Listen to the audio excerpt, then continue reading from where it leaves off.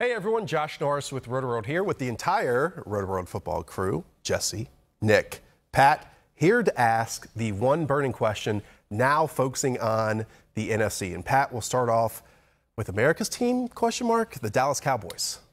Um, yeah, is millennial offensive coordinator uh, Kellen Moore serious about modernizing the Cowboys offense? Because the defining characteristic of the Cowboys 2018 offense was basically running in non-value added situation, like always running on first down, just running, you know, in situations where you should not run and hurting your chances of succeeding on successive downs. So, is Kellen Moore serious about bringing the Cowboys offense into 21st century? Uh, everything he said this offseason was very promising, talking about being multiple talking up everyone's versatility, basically saying the things you want to hear a modern offensive coordinator say. So, is he serious about that? Will he be allowed to be serious about that by Jason Garrett and Jerry Jones? And can Dak take that next step yes. to be like a quarterback that really functions and elevates the rest of his offense when it doesn't go according to plan?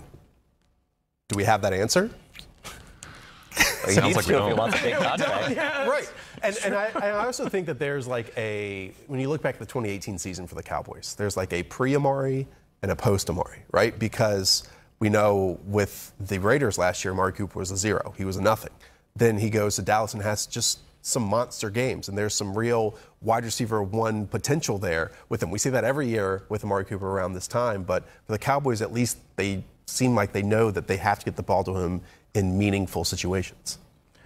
Yeah, they do, and they're another team where yeah, they the Cowboys usually commit to their stars, and even with a new offensive coordinator, someone who's kind of said he wants to like break the old ways there, the, the Dallas Cowboys are going to be committed to Ezekiel Elliott and to Amari Cooper, and, you know where, and Jason yeah, Witten. going. yeah, yeah oh, I, I honestly almost Randall forgotten Cobb. about that. Yeah, uh, I think Randall Cobb just like a a nothing parallel shift from Cole Beasley's. I don't know. He might be a slight improvement well, from Cole Beasley. Um, Maybe five years ago. Like I, I think Randall Cobb is completely. Well, I, I think if you're gonna uh, like put a label on Cole Beasley's game, it's Randall Cobb five years ago, uh, or five years from. I messed up that joke. I, uh, I think we get the gist of it. yeah. um, it is interesting though, like when an offensive coordinator with no play calling experience or exposures jumps into that role because it's becoming more and more important in the NFL now, right? And all we can go on, Jesse, is like word of mouth here with Kellen Moore. And by all cases, everyone is super impressed in the media and in the NFL of what Kellen Moore could potentially oh, is he their do. backup quarterback like to to Dak like two years ago? Right. Right. Yeah. So I mean, yeah, he's uh, totally unproven, but I think uh, anything that will give us less Jason Garrett play calling uh, is probably a good thing for this offense. But at the end, like we're just going to get 30 carries a game for Ezekiel Elliott. Maybe, but maybe they'll be in more optimized situations. Is the hope. Let's go to Nick Mensio with the Philadelphia Eagles. Uh, Carson Wentz just signed a long term contract, as he should, because he's a very good football player. Um, obviously, not the defending Super Bowl champions anymore, Philadelphia Eagles, but a lot of optimism heading into 2019 here, Nick. Yeah, fully committed to Wentz after Foles walked in free agency, so lost. Uh, it, wasn't the quarterback for the Super Bowl, obviously because he tore his ACL. Then had a back injury at the end last season. So Nick Foles got uh, got all this money from playing in the big big stage. My question is, Wentz is 100% healthy. Can he rebound to that MVP level form that we saw before he got hurt against the Rams in 2017? So. And yes, I think yes is the answer. I think so too. Yeah. But the biggest question, as you mentioned, is health. For thirty-two right. million a year, he better, yeah. And that's something that we have no clue about, right? Because again, when he was playing so well in 2017, he was the MVP, and then right. he got hurt. But then it's two straight injuries, significant ones, right. in two years.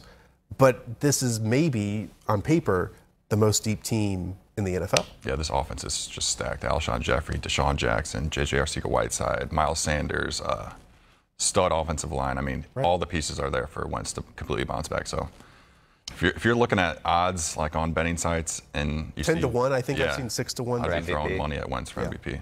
There were some uh, some interesting locker room rumblings. I forget where that oh, article yeah. came from, but that was that, that's something to watch too. But obviously, it didn't scare him enough to not give him 128 million. Pat, what what is the infusion of DeSean Jackson do for this offense and the Eagles? Because that's a wrinkle and an element that really Carson Wentz hasn't had yet. Yeah, and they were missing last year, especially after Mike Wallace got hurt, and you know never really developed. Uh, should make things easier for everybody because DeSean Jackson's not like an ordinary deep threat. He, if you like dig into his career stats, he's like one of the greatest deep threats in NFL history. And we know Carson Wentz has a huge arm. And like we know, uh, Doug Pederson from the Andy Reid tree that like it's not always like kind of a, a deep game's not always like a big part of that offense, but it can be a big part of that offense. Uh, certainly was with the Chiefs last year, and uh, I think it will be. And just make the things easier for everyone else. And this is probably definitely the best supporting cast of Carson Wentz's career. So you have DeSean Jackson, you have Miles Sanders, who after the draft, Howie Roseman said was the kind of prospect he'd been waiting for for years, and Arcega Whiteside, another one super intriguing rookie. So We didn't even talk about Zach Ertz and Dallas Goedert. I mean, Yeah. just both Oh my guys. gosh. It's great This point. team's stacked. Let's go to the Washington Redskins. Uh, Jesse, one year ago, this team had moved on from Kirk Cousins and they've gone to Alex Smith, thinking that Alex Smith was going to be their quarterback for many years. And he breaks his leg. obviously not going to happen.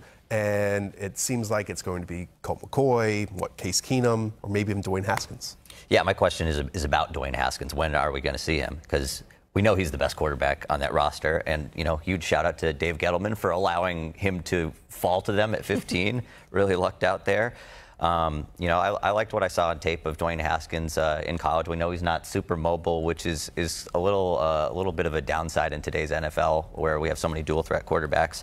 But he's super accurate um, and just kills it in the in the middle of the field. Um, but here here's something I wrote down. So their their first five games, they have the Eagles in Week One, Cowboys Week Two, Bears Week Three, Patriots in Week Five.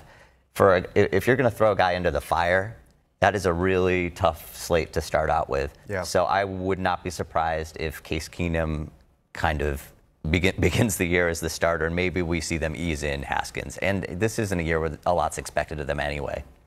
Is Jay Gruden just like a stopgap coach? Like, Coach is- for his job. I think we're going to see Haskins early. Like he needs to play the best quarterback to save his job. So He's either- And we know it's not Case Keenum, and we know it's not Colt McCoy. He's either a stopgap coach or he's the new Jason Garrett, someone who will just live on forever, uh, even if in mediocrity? I do think Dwayne Haskins will be the week one starter, and I worry about Dwayne Haskins, an NFL prospect. Uh, he was a subtle mover, I think you could call it, at Ohio State, uh, where he, you know, like kind of like the narrative is that he's completely immobile, which isn't completely true. Like he, Right. he was a good subtle mover in the pocket, but it was subtle. Uh, he's not much of a mover, and it's more than just a little concern in the modern NFL. It's a massive concern. Especially if Trent Williams doesn't show up. Yeah, which uh, you know, It's a big difference from Alex Smith last year, who is one of the more you know agile quarterbacks in the league and can make plays with his legs. Yeah, what we're gonna see, I'm, I have, I have my doubts about Dwayne Haskins as an NFL prospect, and, and like, but yeah, I think he will be the week one starter. I mean, Daniel Snyder, we're not gonna. This is not a team. J- John Gr- Jay Gruden coaching for job. It's not a team that's going to. I think the worry though is like when you have that tough a schedule is you know especially a young player like that is breaking their confidence. We've seen that happen before with DeShone Kizer in Cleveland, mean, it's happened a who lot. just wasn't ready. You know. Yeah, but he- the guys who are going to Have be a lot less talented guys. Yeah, the, but the guys who are going to be ready eventually, like, I feel like it, it can hurt you early in your career, but usually if you're talented enough, you'll overcome Right. that. So I don't think they're going to worry too much about that. Moving over to the New York Giants, Daniel Jones, the number six overall pick. When can he show enough to force out Eli Manning from that starting job? You know, right after they selected Jones, Dave Gettleman, and Pat Shurmur at number six, they were locked in. I mean, they said, quote unquote, the goal is for Eli to be our quarterback. And cracks, Pat, kind of have shown a little bit since then where Pat Shurmur says he wants Daniel Jones to be ready for week one, that, you know, we don't know what's going to happen. And it helps, in Jones' case, that Eli has been one of the worst starting quarterbacks in the league for the last three years. He has, uh, maybe longer than that, uh, if you want to split hairs. But uh, the coach speak is growing ever more refined with Daniel Jones and Eli Manning. It's honestly a pretty standard. It was a pretty standard offseason of coach speak from the Giants. This happens a lot, even when it's not Eli Manning. A team drafts a rookie quarterback, and even if it's like Case Keenum, that's the starter. The coach, like, oh no, why would like they act like insulted if like you suggest the rookie's going to start like draft weekend? Sometimes like no, no, this is Case Keenum's football team. Uh, the rookie still has to earn it. But uh, so to me, it's been a kind of a standard progression of a language from Pat Shurmur, and I think Eli will be the Week One starter, but it's going to be very brief. I think his leash is going to be Yeah. pretty long too. Even though the Giants are all slot receivers, like week two or three, there's going to be like a, a Twitter compilation video of Eli Manning horribly. We've already seen it from the deep balls. 2018 Yeah, so there's going to be another one of those, and it's going to be a very early changing the guard. I mean, this is a quarterback, an Eli, that was sacked 78 times over the last two seasons. Which Like, is it's bad offensive line play, but it's also yeah, Eli Ereck Manning. Flowers. Yeah. Yeah. I mean it's bad offensive line play. sacks are a quarterback stat. But bad quarterbacks make offensive lines mm-hmm. look worse than they are. And, Correct. Yeah. And now, I mean, it's a worse team offensively, and we know that the foundation, the identity, is Saquon Barkley. Sure, in the passing game and in the running game. How many slot receivers can you have? But this is also a team. Tate, yeah. This is also a team, Jesse, that tried to at least move on from Eli for a game a couple seasons ago and ended in tragedy for basically everyone involved. And so, will Pat Sherm be willing to do that in 2019? When, Well, I think- in order for them to even like contend to win games. Well, that's the worst part of this is this whole narrative of apology, going out of their way to apologize. We're sorry we benched you for Geno Smith that one time, so we're gonna let you basically be the quarterback until you don't want to be anymore. And even though Eli has shown that he's just not an NFL, he's not a starting caliber quarterback at this stage of his career. It's not really a comparable situation. I mean, there's a big difference. I mean, benching Eli was the right decision, but there's a big difference between benching Eli for Geno Smith And and number then one overall pick. Yeah. Not Well, overall but pick, the- number one pick. Consistent theme here is that he's been bad. Like Yeah. it's okay to bench a quarterback for someone better in that situation. And then it was Geno probably. In now Eli's defense, he was probably better than Geno Smith. Okay. In And they draft like the one first round quarterback that's probably not really going to push for a week one start, too. I mean, we could all go on forever about DeAndre Jones's flaws. He- he'll if he and Dwayne Haskins will tell us a lot in like their two to three preseason games that they play. It'll show us a lot and have the answers to. Hi, I'm Mike Tirico, and thanks for watching. Make sure to hit subscribe for the latest news and highlights from NBC Sports.